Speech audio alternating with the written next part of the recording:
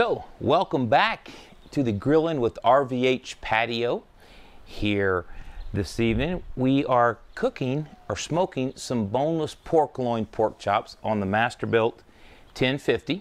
You can see the smoke's already rolling. I already have some ABTs or jalapenos stuffed with cream cheese and wrapped with bacon on the smoker already. Been smoking for a little while now. We're going to take these pork loin, boneless pork loin pork chops, um, pre-seasoned already from HEB. I didn't have time to thaw anything out and I was just really kind of lazy, let's just be honest. And so I just grabbed these at HEB today. I wanted to cook something on the 1050, didn't know what. So I said, hey, pre-seasoned pork chops, why not? Let's do it. So we're gonna put these on there, about 225, uh, smoke them to an internal temp. I think it's 145-ish. Pull them off and see how they are. These are seasoned with a Texas style seasoning, so hopefully a savory, not so much a sweet seasoning. Um, but yeah, you can see the, the wood smoke rolling. I got a couple of chunks of pecan wood down in the uh, burn bin, the ash can, and then some pecan wood sprinkled in the lump charcoal there in the hopper. So let's go ahead and uh, open this up.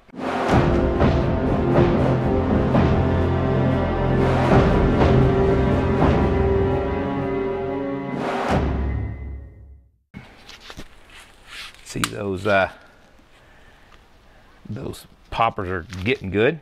So we're just going to take these and put these right on the smoke side here.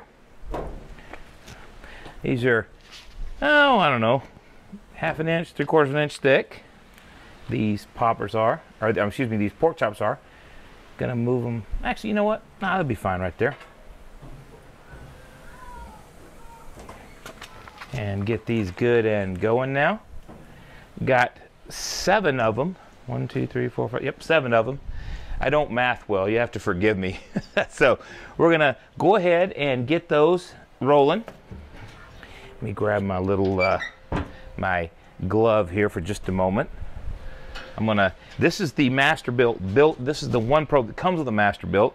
I've also got a uh, fireboard that I'm monitoring temps on.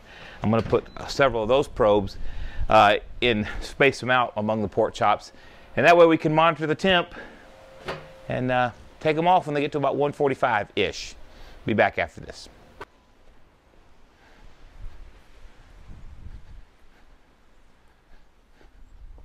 So one thing I did, I have noticed with the fireboard, I placed the fireboard ambient probe right about the same location as the uh, Masterbuilt one.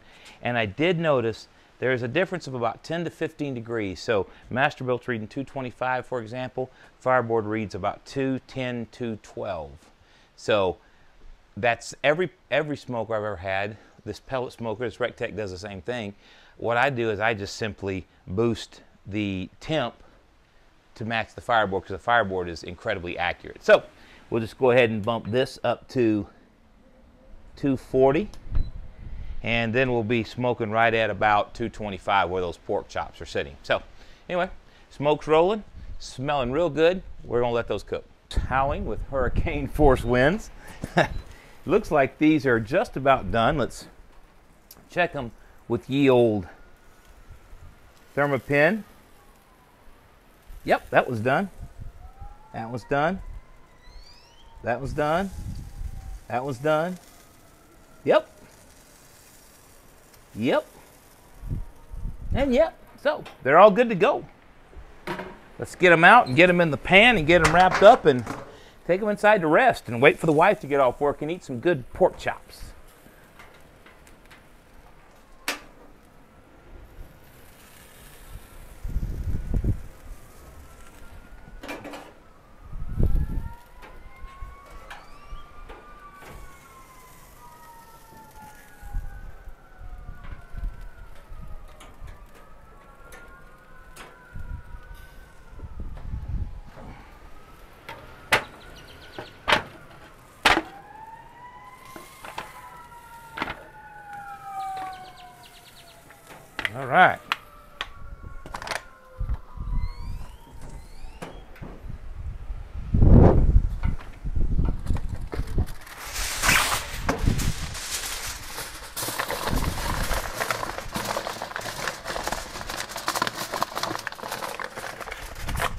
Got them wrapped up in the pan. We're gonna take them inside. You need pork chop. I wonder what she'll say about it. Yeah, okay, maybe. she'll eat about a quarter of that. Maybe.